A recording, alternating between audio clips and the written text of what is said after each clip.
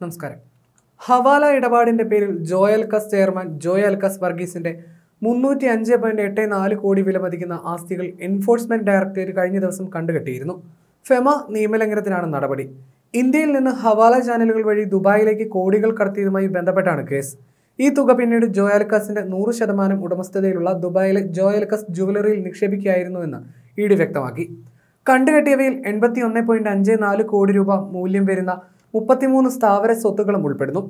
തൃശൂർ ശോഭ സിറ്റിയിലെ ഭൂമിയും താമസിക്കുന്ന വീടും ഇതിൽ ഉൾപ്പെടുന്നുണ്ടെന്ന് പത്രക്കുറിപ്പ് പറയുന്നു. തൊണ്ണൂറ്റി ഒന്ന് പോയിന്റ് രണ്ട് രണ്ട് ലക്ഷം രൂപയുടെ നിക്ഷേപമുള്ള മൂന്ന് ബാങ്ക് അക്കൗണ്ടുകൾ അടക്കമാണ് മറ്റു കണ്ടുകെട്ടിയ വസ്തുക്കൾ.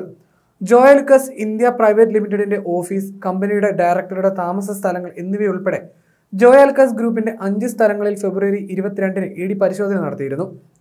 ജോയാൽക്കസ് വർഗീസിന് കൈവിട്ടു പോകുന്നതിൽ അഭിമാനമായി കൊണ്ടു നടന്ന വീടും ഉൾപ്പെടും. തൃശൂർ സ്വരാജ് റൗണ്ടിലെ അൻപതിനായിരം സ്ക്വയർ ഫീറ്റുള്ള വീടും ജോയൽ കാസിന് നഷ്ടമാകും. ഹവാല ഇടപാടിന്റെ പേരിലാണ് എല്ലാം പോകുന്നത്. ഈ പശ്ചാത്തലത്തിൽ ജോയാൽക്കാസിനും കമ്പനിക്കും എന്ത് സംഭവിക്കുമെന്ന് വിലയിരുത്തുകയാണ് സാമ്പത്തിക വിദഗ്ധനായ ബൈജു സ്വാമി.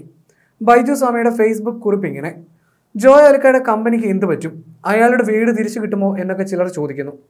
രണ്ടായിരത്തി പതിനൊന്നിൽ ഞാൻ ജോലി ചെയ്തിരുന്ന ഇനാം ഫിനാൻഷ്യൽ കൺസൾട്ടൻസും സിറ്റി ബാങ്കും ചേർന്ന് ജോയൽക്കയുടെ ഐ പി ഒക്ക് സെബിയിൽ D R H P file ചെയ്തതും തുടർന്ന് ഇഷ്യൂവിന്റെ ഡേറ്റ അനൗൺസ് ചെയ്തുകൊണ്ട് മാധ്യമങ്ങളിൽ പരസ്യം ചെയ്യുകയും ചെയ്തിരുന്നു. അന്ന് മെർച്ചന്റ് ബാങ്കേഴ്സായ ഞങ്ങളോട് ഇഷ്യൂ ഓപ്പൺ ചെയ്യുന്നതിന് ഏകദേശം ഒരു മാസം മാത്രമുള്ളപ്പോൾ അദ്ദേഹം ഇഷ്യൂ പോസ്റ്റ്പോൺ ചെയ്യാൻ ആവശ്യപ്പെട്ടു. അന്ന് കേന്ദ്രഭരണത്തിലിരുന്ന ചിദംബരത്തിന് ഇന്റലിജൻസ് ബ്യൂറോ പാസ് ചെയ്ത രഹസ്യ വിവരം മൂലം ചിദംബരം അന്വേഷണത്തിന് ഉത്തരവിടുകയായിരുന്നു. പിന്നീട് അദ്ദേഹം ഇഷ്യൂ വേണ്ടെന്ന് വെച്ചു. ഇതൊക്കെ സെബി സൈറ്റിലുണ്ട് അന്ന് ഇന്റലിജൻസ് ബ്യൂറോയ്ക്ക് കത്തെഴുതിയത് മുഖ്യമന്ത്രിയായിരുന്ന വി എസ് ആണെന്നും കൊച്ചിയിൽ നടന്ന ഒരു വൻ റിയൽ എസ്റ്റേറ്റ് ഇടപാട് സംബന്ധിച്ച സൂചന കത്തിലുണ്ടായിരുന്നുവെന്നും മുംബൈ ഗ്രേപ്പ് വൈൻ പ്രബലമായിരുന്നു. ചുരുക്കി പറഞ്ഞാൽ അന്നു മുതൽ Joy P M L A സ്ക്രീനിങ്ങിൽ ആയിരുന്നു. ഇനി ഇൻബോക്സിലുള്ള ചോദ്യത്തിന് ഉത്തരം Joyalukkas traders India private limited എന്ന കമ്പനിയുടെ നൂറ് ശതമാനം ഓഹരികളും കണ്ടുകെട്ടിയ സ്ഥിതിക്ക് ഇപ്പോൾ ആ കമ്പനി അദ്ദേഹത്തിന്റെതല്ല. അല്ലെങ്കിൽ കോടതി ഇടപെട്ട് സ്റ്റേ കൊടുക്കണം. അന്വേഷണം തുടരുന്ന സ്ഥിതിക്ക് കോടതി ഈ ഘട്ടത്തിൽ ഇടപെടാൻ സാധ്യത കുറവാണ്. മറ്റൊരു കാര്യം അയാളുമായി സാമ്പത്തിക ഇടപാടുകൾ തുടർച്ചയായി നടത്തുന്നവരുടെ അടുക്കൽ ഇ ഡി എത്തിയേക്കാം. ജോയൽക്കസ് എന്ന ഇന്ത്യൻ ജുവലറി കമ്പനി തത്വത്തിൽ നിലവിലില്ല. ആ സ്ഥാപനത്തിൽ ഡെപ്പോസിറ്റ് ചെയ്തവരുടെ കാശ് ഇനി കമ്പനിയുടെ കേസ് കഴിഞ്ഞ് മാത്രം മിച്ചമുണ്ടെങ്കിൽ തിരിച്ചു കിട്ടിയേക്കും.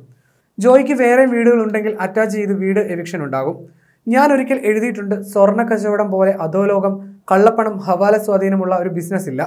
അവരുടെ കണക്കുകൾ ശരിയെന്നോ കൃത്യമെന്നോ അവർക്ക് പോലും നിശ്ചയമുണ്ടാകില്ല. ആ ബിസിനസ്സിൽ ഉൾപ്പെട്ട എല്ലാവർക്കും ഇന്നല്ലെങ്കിൽ നാളെ ഇതേ പ്രശ്നമുണ്ടാകും എന്നുറപ്പാണെന്നുമാണ് കുറിപ്പിൽ പറയുന്നത്. കണ്ടുകെട്ടിയ ആസ്തികളിൽ ഏറ്റവും മൂല്യമുള്ളത് ആലുക്കാസ് ഗ്രൂപ്പിന്റെ ഓഹരികൾക്കാണ്. ഗ്രൂപ്പിന്റെ ഇരുന്നൂറ്റി പതിനേഴ് പോയിന്റ് എട്ട് ഒന്ന് കോടി രൂപ മൂല്യമുള്ള ഓഹരികളാണ് കണ്ടുകെട്ടിയത്. മൊത്തം ആയിരത്തി അഞ്ഞൂറ് കോടി രൂപയാണ് കമ്പനിയുടെ അംഗീകൃത ഓഹരി മൂലധനം.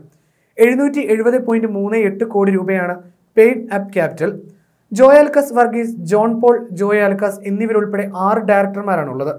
രണ്ടായിരത്തി ഇരുപത്തിരണ്ട് മാർച്ച് മുപ്പത്തിയൊന്നിന് അവസാനിച്ച സാമ്പത്തിക വർഷത്തിൽ കമ്പനിയുടെ പ്രവർത്തന വരുമാനം അഞ്ഞൂറ് കോടി രൂപയിലധികമാണ്. ഇത്തരം ഒരു സ്ഥാപനമാണ് ഇ ഡിയുടെ കണ്ണിലെ കരടാകുന്നത്.